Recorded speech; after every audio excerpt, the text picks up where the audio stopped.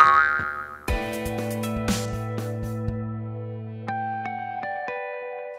Hello, welcome back to my YouTube channel where I'm trying to completely change my life, um, which I have been doing over the last few years. I've tried to do more exercise and get a bit fitter and healthier. I'm eating a completely different diet, trying to eat a lot more raw fruit, especially fruit. And uh, I've also given up my part-time job to grow my own fruit and vegetables and be a bit more self-sufficient. Um, one of the other things I'm trying to do with my life is have a bit of an overhaul of my house and reduce my rubbish.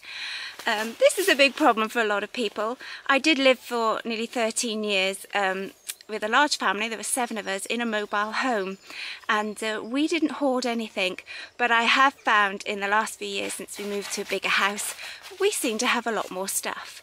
Um, so slowly, um, a bit at a time, I'm trying to reduce our rubbish and today I'm going to tell you how I'm trying to stop the junk mail uh, from coming into my house. It's a small thing but it does over um, a period of time accumulate and add to the amount of bits and pieces dotted about the house.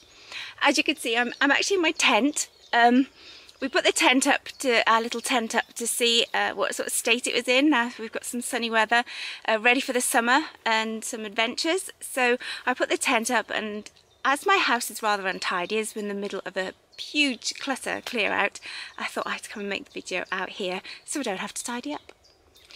Anyway, junk mail here in the UK. Um, as most people are aware, you get loads and loads of pamphlets, leaflets, advertising, um, magazines, everything free through the post. most, I'm afraid, they just go straight from our post box, almost straight into the recycling. There's very, very rarely anything that really is useful to us or catches our eye. Very occasionally, and I did think about this when I started opting out of the junk mail, um, we do get a couple of vouchers, but then I don't think we get enough sort of things back to warrant the amount of things we get, if you know what I mean. I thought, oh, I'm going to um, forgo the couple of free vouchers because some of them encourage you to spend more money anyway. And uh, so I'm clearing out my junk mail.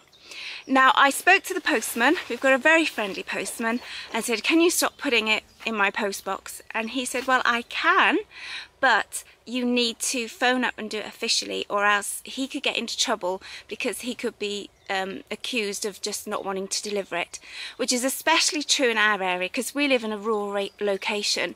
And if there's just junk mail, um, he has to come sort of a little bit way out, sort of um, out of his way, if you like, to come here just to deliver these these leaflets, and they might accuse him that he just doesn't want to do it. So I said, well, no, no, I don't want you to get you into trouble. Um, who do I ring up? What do I do? So he gave me a phone number and I rang that up um, and I think it was our local depot and they said, oh, you've got to go to um, somebody higher and they gave me the main number um, I'm not sure if it's the same for every area or whether it's individual. So if you want to do this, I would suggest you ask at your post office or your postman.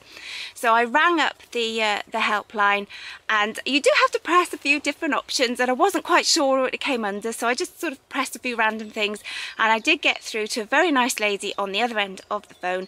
And she said, yes, there is no trouble opting out of, it's officially called door to door here in Britain.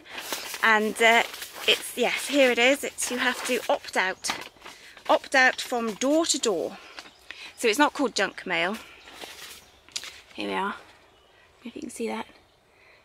Opting out of door to door. So it's not called junk mail on in the official official line, it's door-to-door -door mail. And she said there's no problem, but she had to send me a form. It has to go in writing. So I've been sent these forms. There's lots of them. And you have to read the terms and conditions.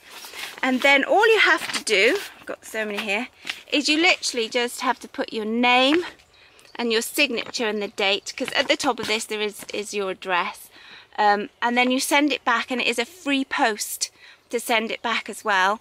And then what happens is that by your name in the post office thing you get a blue sticker and that says that you've opted out of door to door and um, they won't deliver it to your house. That's the theory. Um, our postman said there won't be a problem because he knows I've already chatted to him. Um, but I will get this official blue sticker to say no more junk mail please. Um, as I say, there is a few forms and, and it, it was a few sort of press two, press three, you know, but it, it wasn't too bad and they were very, very helpful on the other end. But you can't do it for anyone else because um, got some, uh, I know um, my husband's parents are uh, pensioners. They didn't want to get any either. So I asked for them and they said, no, unfortunately, it has to come from them. They had to phone up. So you can only do it for yourself and your own address. But they were very helpful. And so hopefully I'm going to fill in these forms and have one less bit of rubbish coming into my house. So if you want to opt out of your junk mail or door-to-door -door mail here in the UK, just go and get um, the phone number from your post office or your postman, ring through, fill in the forms and hopefully all will be well. I hope you have fun in the summer with your tent uh, and opting out of your door-to-door. -door. Please give this video a thumbs up for reducing rubbish and um, having fun in the sun and I'll see you next time.